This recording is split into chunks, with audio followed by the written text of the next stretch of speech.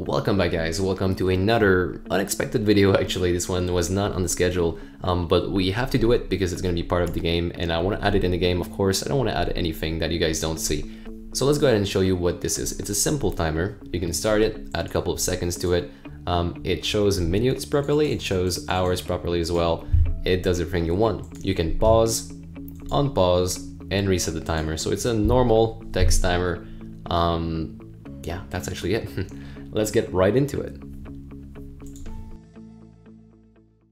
Okay, so I went and I did some initial setup for our scene. I have a timer object, which is a text mesh Pro object, as you can see over here. And on top of that, I have a couple of buttons that will all be connected to the, the script we're gonna be making in a second. So I have a button for starting, for adding 5 seconds, for adding 55 seconds, and then 3595, which is basically um, 5 seconds below 1 hour.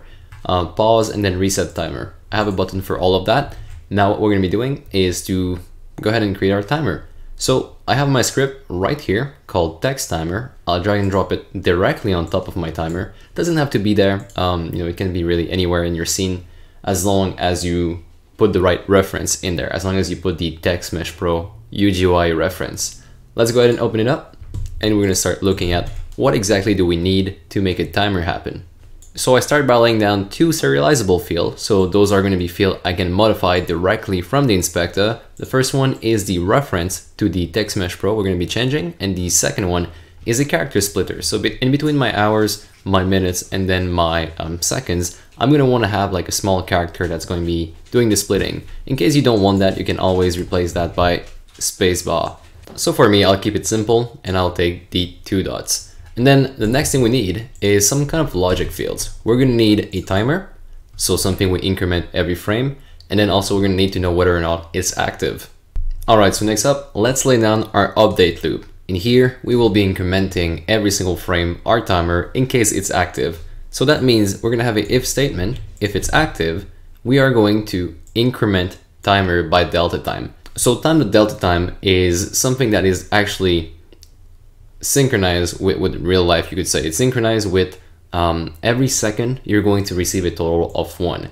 If it takes a full second in between two frame, then this is going to be one. Um, if it takes two seconds in between frame, this is going to be two. And if it takes one thirtieth of a second, then it's going to be a number like that. But basically, after one second, you're going to receive one. Um, so this will match us. Next up, we have a function down here called update text. So this function, the goal of this function is going to be to update the TextMesh Pro UGUI object, so this one. So we'll create it over here and we'll make sure that by the end, we are going to be setting the text of our TextMesh Pro. It's going to look weird. It says text.text, but basically we're using this type. So text. And then the text field inside of it is also called text. Um, if that confuses you, you can always say, do this.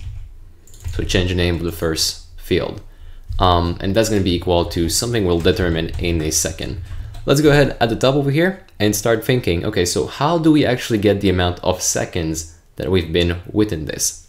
Well, we can use the modulo sign.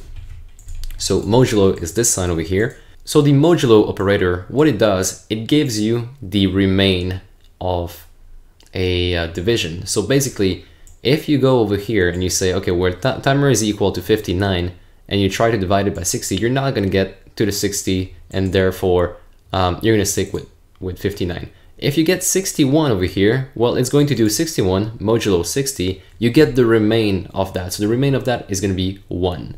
This will allow us to always go from 0 to 60, and then after that, it's going to go back to one, two, three, four, five, and so on. So this is actually how we're gonna get our seconds. Now, as far as the minute goes, it's a little bit different. So here is the minutes. What we do is we take our full amount of time, we divide it by 60.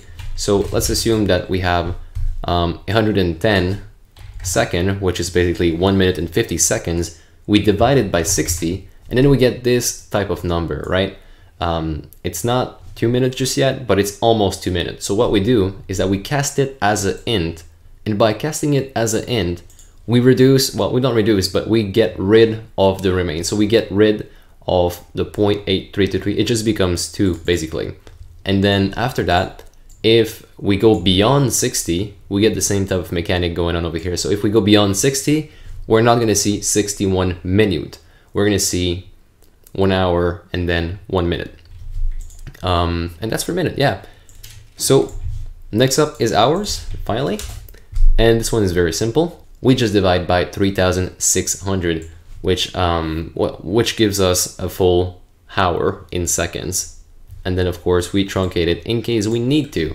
And that's how we do it. That's how we got all our fields over here. Now next up, we're gonna have to actually um, change the way we format it. We're gonna have to do a toString on it first. So here's what we'll do. Under timer the we'll say, okay, well, let's grab our hours first, display that first, toString 00. zero.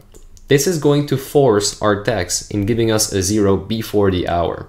Assuming we're on 10 hours, it's going to look like this. So that's 10 hours, right?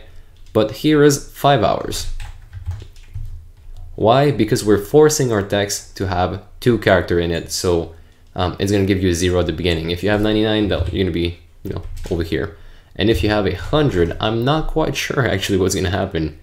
Um, never really tried it out. I think it's simply going to give you 100 like so. But, um, you know, the odds that you actually get to 100 on a, a timer is, is quite, quite big. um, and then I'm going to add the character splitter. We could switch line, add minutes, and, you know, just keep on going like this until we have everything we need and we're not gonna need a character splitter at the end. So we got hours, splitter, minute, splitter, and then seconds. Now we can't really test it out because it looks for something that is active right now. And we don't have any active timer. Well, we don't have any way to activate it. So we're gonna go down here and actually create ourselves a very, very simple function. Actually, I'll lay down two function. First one is start timer, which is going to call my overload start timer with a float seconds as a parameter. Um, I'm putting that out there.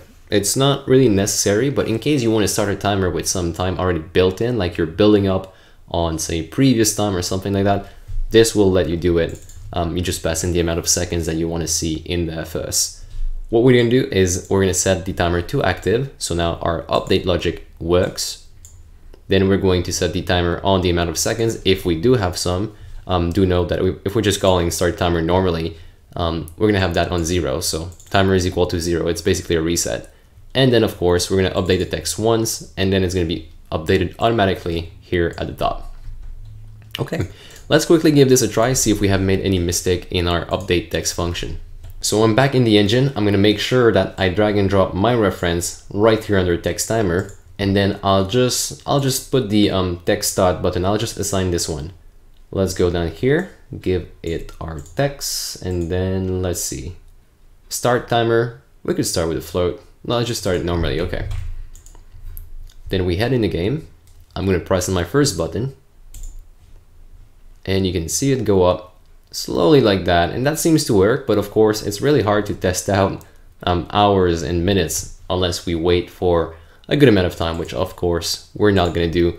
We are simply going to add a couple of things so introducing three new function. The first one is called add time, in which we just add time to our actual timer, and then we quickly update the text. This is going to be for, say, penalties. If you're playing like a racing game and you run into a civilian or something like that, you want to give penalty to the player, um, then you can say, okay, add 10 second to his timer so he has a worse time at the end of the match. Um, that would work. Then pause timer is just putting that on inactive. It's also a unpause timer if you guys see the code over here. Um, if you press it twice, it's basically going to go back to being normal because you say, hey, if true, well, you say something like true is equal to not true. And, you know, it's just going to swap that boolean value. And then finally reset timer, put it back on zero, and of course, reset. This is not going to put it on inactive, so you could reset a, a running timer, which would be great, say if you're doing laps. Um, you don't have to call start timer after that. Okay, do we need anything else before I close this script off? We're gonna need one more thing that we're not gonna use today, but um, it's gonna be useful maybe for if you're trying to get this score or trying to get this timer from another script. I'm gonna put a get time since start, which is going to allow you to get the timer value because this one is private usually. So you can call this um, if you have a reference to this timer script. Okay, having that done, I'm gonna go and hook up all of these to the timer. So add five, text timer, add time five, and I'll be back when I'm done. All right, so that was my last one. Reset timer, pause timer, had almost one hour, add almost uh, one minute, and then add five seconds. So we're going to press on play here and have a look if everything works. We're starting a timer, that's cool.